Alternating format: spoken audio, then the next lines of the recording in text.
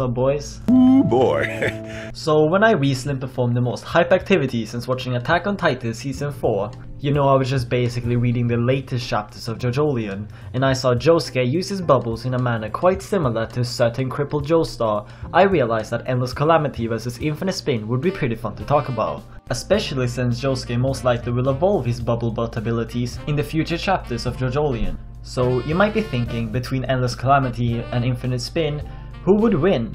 Well, it's actually quite convenient that you're asking that because I'm actually analyzing both stands' abilities today to answer that exact question. Fuck yeah. So let's see if Endless Calamity can beat Infinite Spin in today's stand showdown.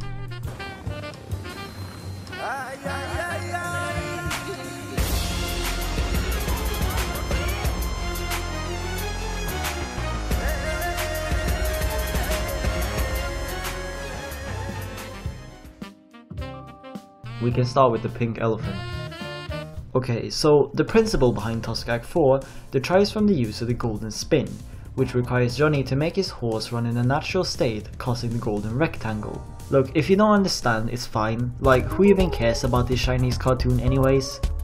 Look, all you need to know is that the energy wielded by Tusk Act 4 is infinite, allowing a wide array of otherwise impossible feats, like stopping impending dooms, anime only's opinions about JoJo, and of course, Araki killing off fan favorite characters. Nah, I'm just kidding, no one can stop that. The spin can also be transferred between objects. I know, some real interesting stuff right here. But anyways, if Tusk Act 4 were to touch someone, then you would be inflicted by the infinite spin everything down to the individual cells spin on themselves, greatly distorting the shape of the victim. As you can see with Valentine, it makes it look like the definition of a twister, and eventually the targets are disintegrated by the rotation. So basically if you're hit by the infinite spin, you're pretty much done.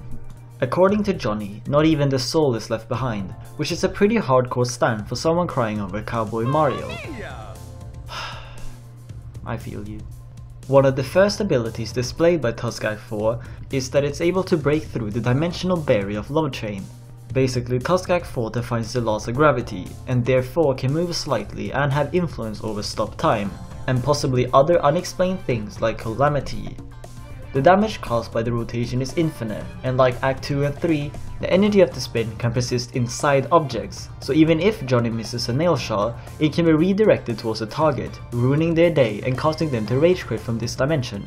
However, if the spin goes on forever and never leaves the person, or in this case stand, forcing them to return to the same place where they were hit, or at least the equivalent in each parallel universe, so even if you wanted to rage quit and leave, then Tusk will just go the rotation won't end unless Johnny shoots the target with a similar rotation that is spinning in the opposite direction, resulting in the two infinites cancelling each other out. Tusk Act 4's infinite spin really only has one weakness, that being if you're inflicted with the spin, removing the limb where you were hit before the spin spreads to the rest of your body leaves you unharmed. And unarmed. Sorry. Okay, okay, let's just move on to Wonder of U, which ability wise is rather simple to comprehend. So basically, those who commit a form of pursuit against either the stand or the user will suffer a power called a calamity. The more you pursue, the more likely it is that you will be torn apart and die a horrible, brutal death. Quite simple, right? The range of the ability is not really clear, but it appears to be infinite, as long as the target affected admits to the attempt of pursuit, it kinda just does its own thing. The stand can face through walls, hover above the floor, pay your taxes, do yoga and take your kids to daycare, among other interesting activities. Oh yeah, it also seems to be able to teleport at will, as it jumps around in the Endless Calamity arc more than a Discord mod after seeing you post memes in general. Anyways, back to what I was saying. So yes, I do think the age of consent should be 13 years. Oh yeah, I should probably explain what Calamity means. Welcome to Calamity 101. Okay, so You's main ability revolves around this thing called Calamity, bringing impending doom for anyone pursuing his user Toru. If the intent to pursue Toru is imminent or the target is in close proximity to Toru, the Calamity will prioritize the target and anyone else who's nearby and attack. It will cause a horrible accident like making sharp objects hit vital areas on your body or even worse, make you step on a Lego either dying of the damage caused or losing the will to pursue Toru before the target is attacked will cease and negate its ability. And uh, yeah, that, that's it. Unlike my regular stand showdowns, the environment won't play a huge factor in this fight since, you know, the Calamity will find a way. So without further ado, let's just hurry up so I can go back to playing Persona 5 Strikers. So let's say that Johnny Joestar somehow returned to modern time Japan and he hears that one of his descendants are mid-battle with a misfortune causing stand. While on Slow Dancer, he spots Wonder U and immediately uses Tusk Act 4 with the infinite spin and fires. If the battle between these two stands were to happen, it would likely follow two possible paths. Either Johnny and Tusk Act 4 would absolutely demolish Wonder U, or Wonder U would absolutely demolish Tusk. Yeah, okay, I know that doesn't help, but actually I found a pretty simple solution to our dilemma. Tusk might not even necessarily need infinite spin since it's pretty heavily applied that the spin can counteract the misfortune caused by Wonder U. But it's still in Wonder of U's favor as the power of Calamity possibly controls Faye itself. The infinite spin and just spin in general seems to have a form of connection to whatever Wonder U is doing, possibly through string theory, and I believe that this fight could be solved using string theory. But since this video would be way too long if I went in depth about explaining string theory, I'ma just turn the cheek and skip it for this video.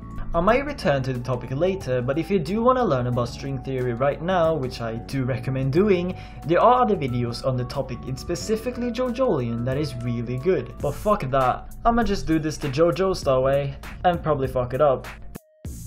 Alright, so this entire fight is simply based on range and precision, since both stand strength-wise leads to a one-shot either way.